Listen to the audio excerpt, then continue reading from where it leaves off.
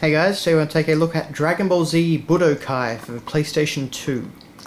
Now, uh, first off, apologies, this is the Platinum version, so it's, you know, not quite as nice, but it does have a completely different cover from uh, the original PS2 release.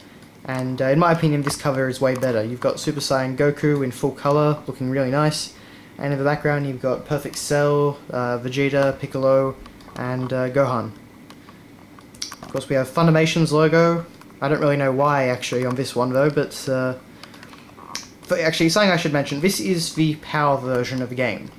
And uh, the PAL version of Dragon Ball Z Budokai, we actually got the original Japanese voice actors with English subtitles. And uh, so yeah, having Funimation's name on there doesn't really seem... I don't know, it just seems a bit odd to me, considering they have nothing to do with this version of the game, but anyway. And it was distributed down here by Atari, like uh, all the Dragon Ball games were for a time. Side, pretty simple, Dragon Ball Z Budokai. And, uh, you know, the usual description and screenshots. So, a showdown of legendary proportions. Enter the Dragon Ball Z Budokai. Test your skills against the most powerful Dragon Ball Z heroes and the most sinister villains. Will you be the last warrior standing? Relive DBZ's most intense rivalries. There's Goku and Vegeta fighting, and Krillin versus Nappa, uh, you've got, of course, uh, Super Vegeta versus Perfect Cell, and uh, you could even unlock the Great Saiyaman, even or Saiyaman rather, even though this only actually went up to uh, the end of the Perfect Cell arc. So yeah. Battle at blazing speeds in the burst zone.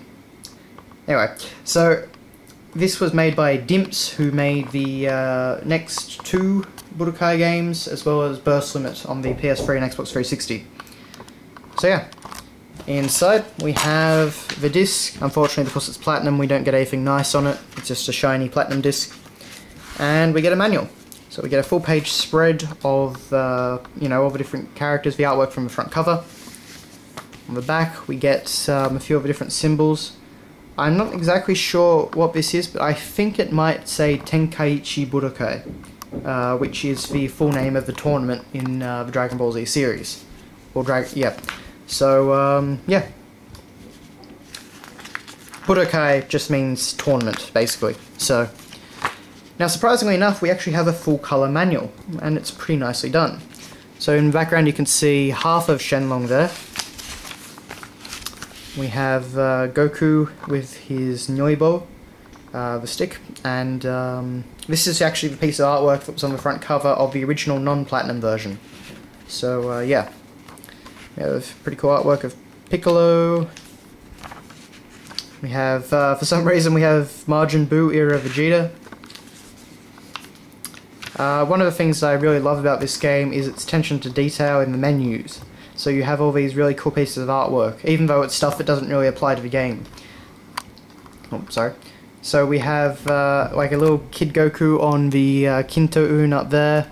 We have Goku and Vegeta fighting in Super Saiyan like they did in uh, the Buu arc. We have uh, Goku and Piccolo's fight at the Tenkaichi Budokai at the end of Dragon Ball. Uh, Kame House with uh, you know Sea Turtle and uh, Kame Sennin. So all, those different things, they're just really nice, you know, attention to detail. And even though this game is definitely the weakest of all the different you know, Dragon Ball fighting games, uh, it's very interesting to see where it all began, and it's uh, still definitely a fun game in its own right. So we get some more artwork.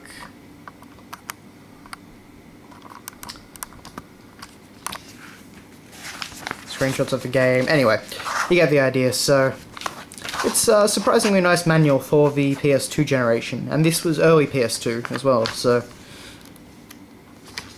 yeah. So, that is your look at Dragon Ball Z Budokai on the PlayStation 2. If you do want to check out uh, the original Budokai game, I'd probably recommend getting it on the GameCube if you've got one, because uh, that was actually an updated version. Not only does it have uh, a nicer front cover, which is this one right here, but it uh, also actually has uh, improved graphics. They started using a, a cel-shaded style, and uh, that's what they'd continue on with in Budokai 2 and 3, and it looks significantly better from what they did with this original Budokai game. But anyway, so thanks a lot for watching guys, and see you later.